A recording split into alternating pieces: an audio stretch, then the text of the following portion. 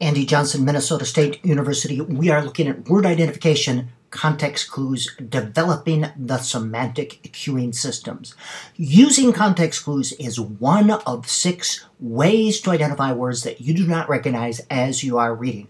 We need to teach this. We develop the ability to use context automatically. We teach the process to develop the clues. We ask students, what word makes sense in the sentence?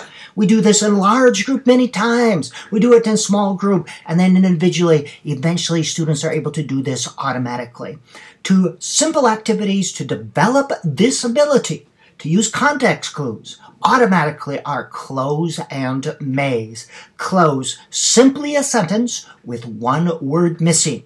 With younger students, we provide beginning letter clues. This takes anywhere between three and six minutes a day. Quickly, quickly, quickly. The goal is to develop automaticity.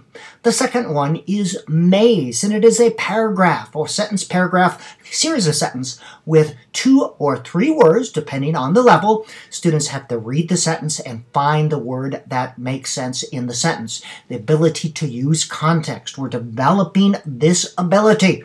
We teach the process to develop the skills.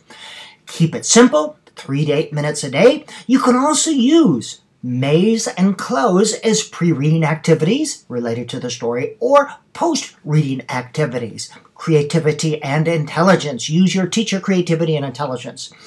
Also, within a typical instructional session or intervention session, you see how this falls. Five to eight minutes, language experience, scaffolded writing, word work, word building. Here's your cloze, two to three minutes fluency, scaffolded reading, comprehension, and a game. This is anywhere, this is for a 30 to 50 minute session. You see where this falls. One strategy by itself does little, but all of them together, a holistic approach, a comprehensive approach to reading instruction.